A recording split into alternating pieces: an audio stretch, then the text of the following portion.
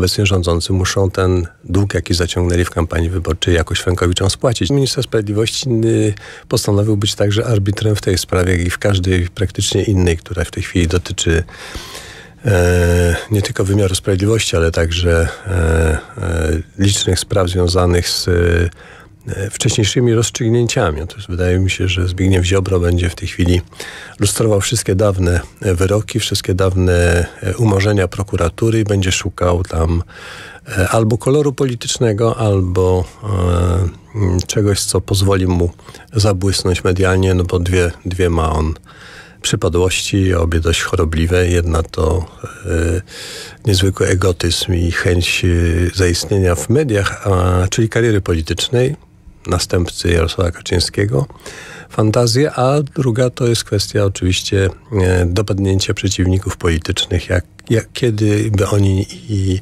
jakkolwiek by oni nawet e, skromnie dziś nie działali, nie istnieli, jeśli tylko Ziobro uznał, że należy ich dopaść, to, to będzie to próbował robić. A Roman Polański, myśli pan, to jest przeciwnik? Roman Polański to jest yy, dla niego zapewne symbol obcej e, kultury, e, patologii moralnej i upadku mm, człowieczeństwa. Ja też muszę panu powiedzieć, jak nas nikt nie słyszy, że powstał taki To znany... nie jest moje zdanie, też od razu zastrzegam. Tak? To wyobrażeniem sposobu myślenia pana Ziobro. Jak powstał taki znany list twórców kultury w obronie Romana Polańskiego, to mnie się mdło zrobiło Nie, to, żebym był za tym, żeby skazywać y, już coraz starszego Romana Polańskiego, prawda? Wiadomo, jakie były okoliczności tej bardzo tak, pokręconej ta, historii, ta, ale żeby.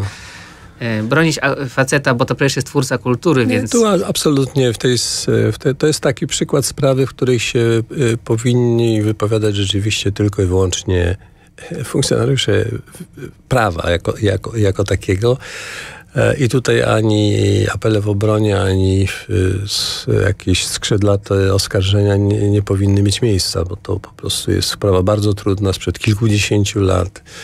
E, w wielu pamiętamy e, przypadki szwajcarskie Romana Polańskiego.